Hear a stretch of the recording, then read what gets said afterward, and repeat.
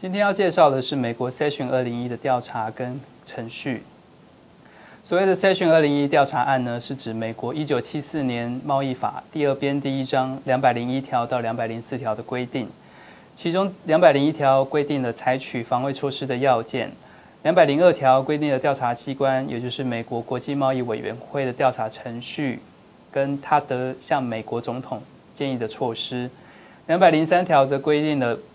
美国总统可以采取的措施，两百零四条只是防卫措施的监控、修改跟终止。Section 二零一规定呢，如果调查机关认定进口到美国的货品数量增加，导致国内跟这个货品具有直接竞争关系的产业受到严重损害或有严重损害之余，而且进口数量的增加为重要的原因，那美国总统呢就可以采取防卫措施，跟反倾销、反补贴的规定不一样。防卫措施呢，它不需要有任何不公平贸易竞争的行为，保护国内产业的意图非常的明显，所以它的要件也非非常的严格。美国从一九九五年到现在，也只有十二件防卫措施调查案。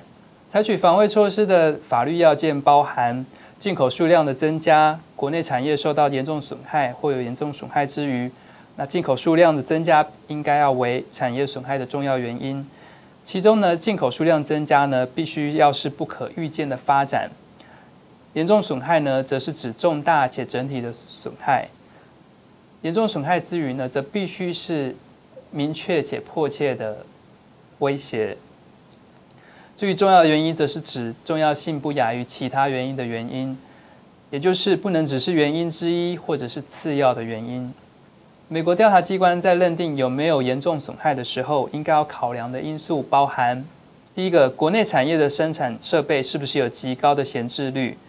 第二个，是不是有大量的业者呢没有办法以合理的利润来进行国内的生产；第三个是国内产业是不是有大量失业或就业不足的情况。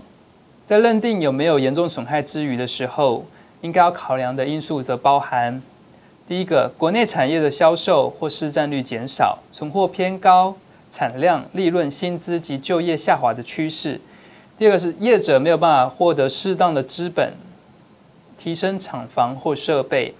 或者是没有办法维持既有研发支出水平的程度。第三个则是第三国呢限制受调产品的进口，导致美国成为出口转移热点的程度。美国 Section 二零一的调查时程呢，分成两个阶段。第一个阶段是产损的调查阶段，第二个则是措施建议跟决定的阶段。原则上呢，美国调查机关 ITC 必须要在一百二十天之内做成产损的决定。那如果有产损的话，则必须在六十天之内向美国总统提出建议措施。在收到 ITC 的建议之后，美国总统则必须在六十天之内做成最终的决定，并向国会进行报告。必须特别说明的是，ITC 所做成的决定跟建议，并不拘束美国总统。对于 ITC 的建议报告，美国总统有权接受、不接受、修改，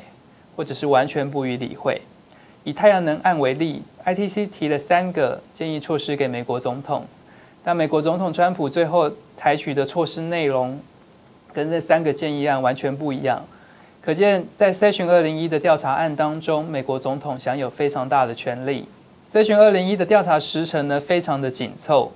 虽然 ITC 也会请出口商、当地的进口商跟生产商填答问卷，但是 ITC 的问卷只是 Section 二零一调查案当中最简单的一环，主要是为了确认受调产品进口量有没有增加，出口商有没有闲置的产能，有可能构成潜在的威胁等等。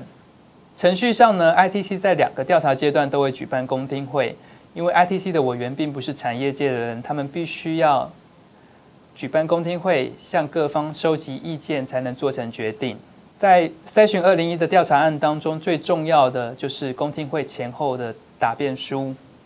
以太阳能案为例，可以看到的是，双方呢都必须要在公听会前后七天内提出答辩书。ITC 可以建议美国总统采取的措施，包含对进口的货物加征关税或提高关税，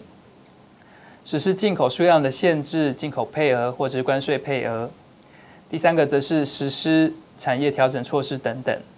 ITC 可以建议美国总统综合采取以下措施，但是比较常见的还是提高关税跟实施进口配额这些边际措施，因为它的成本是比较低的。其中比较特别的是关税配额，也就是提高关税跟实施进口配额的合并。譬如进口限额为十万个 unit，限额内呢为零关税或较低的关税，但是呢一旦超过这个限额，关税就会提高。换句话说，关税配额呢就是透过以价质量的方式来减少进口。除了 ITC 可以建议美国总统采取的措施之外呢，美国总统也可以跟外国进行贸易谈判，向国会提出立法建议，或者是在法律的授权下采取其他的措施。